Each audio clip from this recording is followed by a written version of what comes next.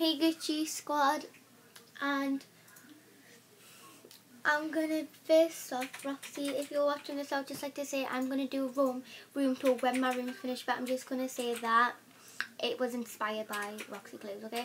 And second note I got my nail I got I got I've got my nails for tomorrow so look.